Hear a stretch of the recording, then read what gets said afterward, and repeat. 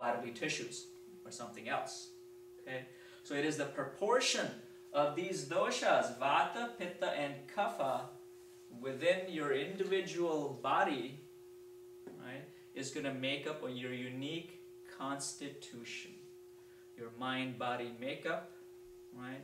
So I could have predominance of a vata quality. And we're going to go into the individual qualities and attributes of each one so you understand what I mean. But I just want you to give you the, the, uh, the big picture.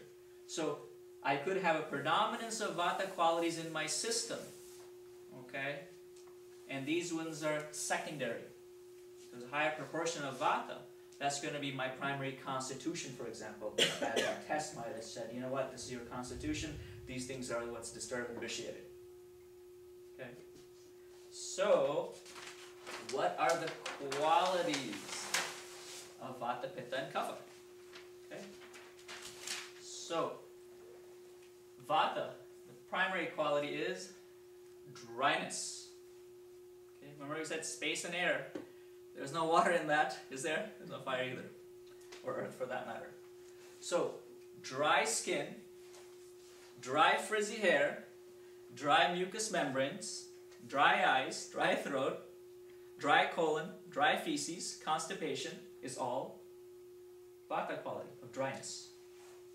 Okay, and it's the first and the most important quality of vata. Second is light. So low body weight, low muscle mass. Okay, get lightheaded is the next quality. Cold. Cold hands, cold feet. Right? Cold digestion or poor digestion. Prefer warm environments, warm foods. Don't like the cold weather. Okay. Maybe even cold emotions. Yeah. Mobile quality. Constantly moving. All right. Physical movement as well as psychological movement. The mind can't sit still. Right? So physical movement, these are the people who change jobs, change relationships, right? Change locations. They're constantly moving, traveling, doing stuff. So too much movement and also the psychological movement part. So if I'm not grounded, I'm not stable, constantly thinking and moving. Maybe they suffer from insomnia, restlessness, this whole thing, you know, and I never heard this 10 years ago, the restless leg syndrome. You guys remember hearing about that 10 years ago? I never heard that before that. now I got every other patient coming and saying, oh, I have restless leg syndrome. really? so it's just the ungrounded quality of the nervous system. Remember, Vata is the, as I said, it is the most subtle of all of these, the other, the least substantial of the other doshas. Vata is the controller too. It's movement right? It's your nervous system also. It controls all movement. So, mobile quality is a big one. Uh, subtle quality, right? They might have subtle fears, subtle anxiety, subtle tremors, twitches in the body. Okay? Clear, clairvoyant. They understand things really fast, right? Very quick but it goes out the other ear. There's nothing to hold it there. It goes up. Okay? And that clear quality also creates void and loneliness. That's the other thing you have to think about. Okay? Excess of that. Dispersive quality is the scattering quality. We, we always tell people, you know, you're a scattered brain, right? You're not grounded. You're all over the place, can't concentrate, trying to do 10 different things at the same time. Okay? And nothing gets done ever. That's the dispersive quality. Okay. So there are others too, but these are the primary qualities for our purposes in terms of understanding. Okay.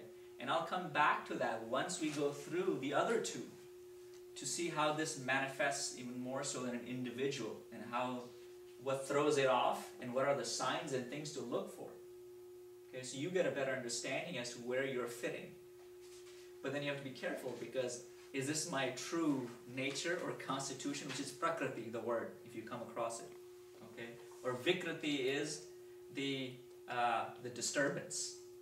Is it my constitution, my genetic code that mom and dad gave me that's manifesting or showing itself? Or the fact that I'm whacked out, it's showing itself? You have to be careful, right? You gotta figure that out. Fine line. Okay, so Pitta is hot. So body temperature will be warmer in these people in general, right? Don't prefer hot climates or environments, right? Hot, even the digestion is strong, but they might have a hot temper too, okay? And uh, sharp quality, okay? Sharp mind, sharp intellect, sharp tongue sarcastic people. Sarco is body, castic, uh, chasm cuts you like a knife. So, you know, you say, oh, that guy has a, you know, um, very acidic. That guy's really acidic. so those kind of people. They're also very bright, driven, motivated, sharp quality.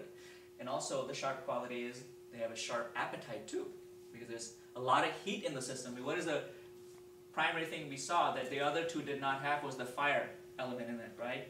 So it increases the heat component in the body, the digestive system. Light quality. So they can also be have uh, less body weight. They could be light, but the light also it has to do with sensitivity to light.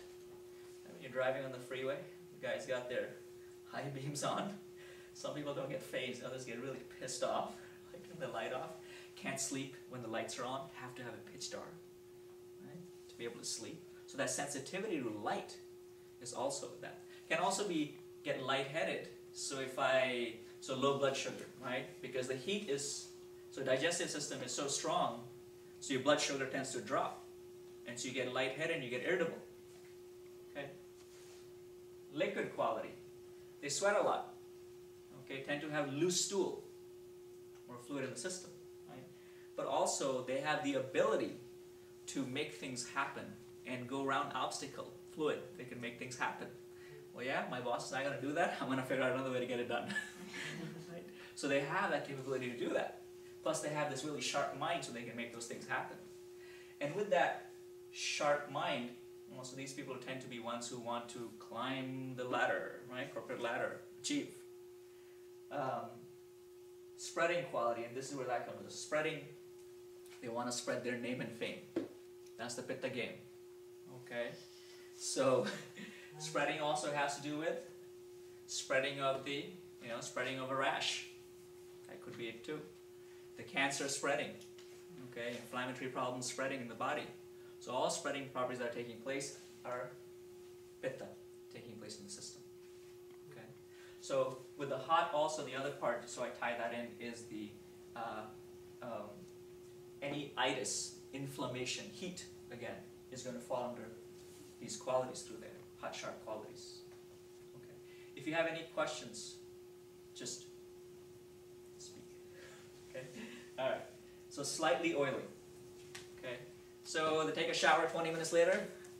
Ah, slightly oily.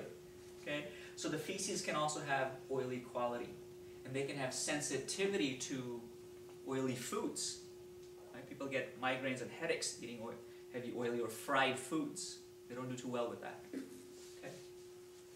Um, Vishram, it's a Sanskrit word. There is no uh, one word to describe that. So that is more of a fetid, foul smell.